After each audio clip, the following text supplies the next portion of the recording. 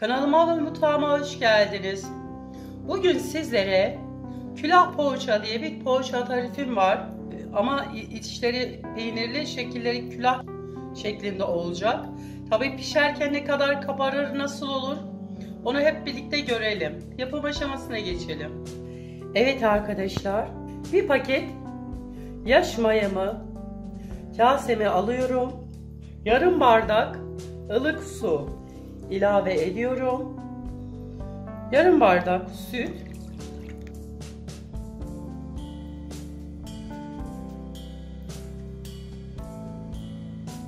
...15 dakika dinlenmeye bırakıyorum. Bir tatlı kaşığı tuz... ...bir yemek kaşığı şeker... ...2 yumurta akı... ...yarım bardak zeytinyağı... ...ilave edelim. Bütün malzemelerimizi bir karıştıralım. Kontrollü bir şekilde unumuzu ilave edelim. Yumuşak, ele yapışmayan bir hamur elde edeceğiz.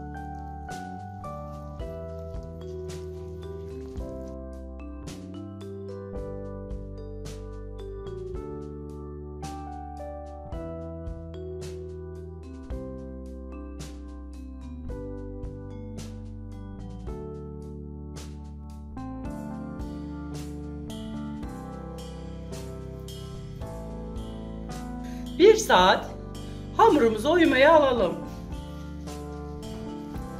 Hamurumuz çok güzel mayalanmış.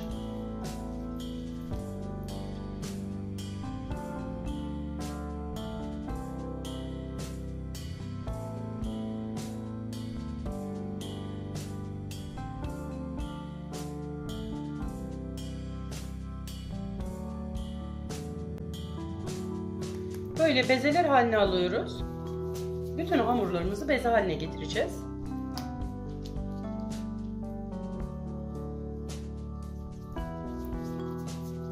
Poğaçalarımın hamurlarını küçük küçük açıyorum.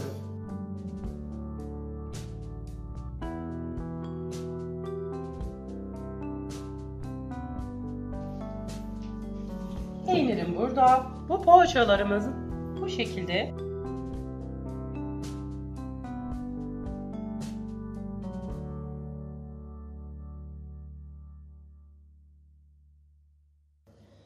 Burasına peynir koyuyorum.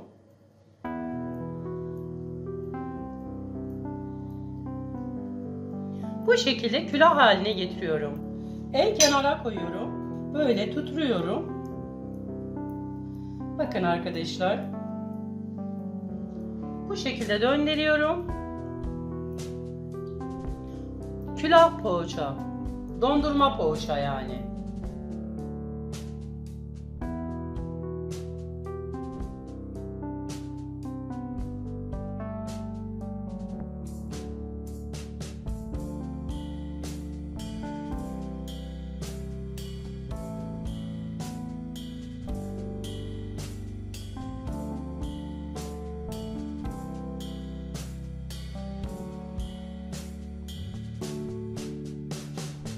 Evet arkadaşlar.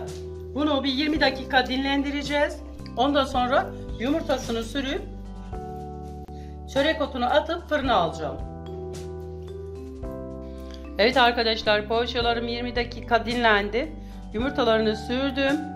Çörek otlarını attım. Şimdi fırına vereceğim. 150 ee, derece sonra 180 derece kontrollü bir şekilde pişirmeye alıyorum. Poğaçam çıktı fırından. Çok güzel kızarmışlar. Bakın puf puf yumuşacık. Bu normalde külah poğaça. Ama o kadar kabarmışlar ki içleri peynir dolu, mis gibi. Ve yumuşacık. Ben biraz şeker fazla kullanıyorum poğaçalarda. Hakikaten tadı da çok güzelmiş arkadaşlar. Poğaçam pişti. Çok güzel puf puf. Lezzeti çok güzel. Arkadaşlar bu poğaçamız külah poğaça. Şekilleri yapılış itibariyle külaha benziyor. Tabi pişerken o kadar çok kabardılar ki.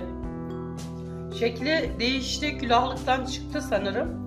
5 sayılarında kahvaltılarda çok güzel bir lezzet. Kesinlikle yapmanızı tavsiye ederim. Yapanlar için şimdiden afiyet olsun. Başka bir videoda başka bir e, tarifle görüşmek üzere arkadaşlar. Hoşçakalın.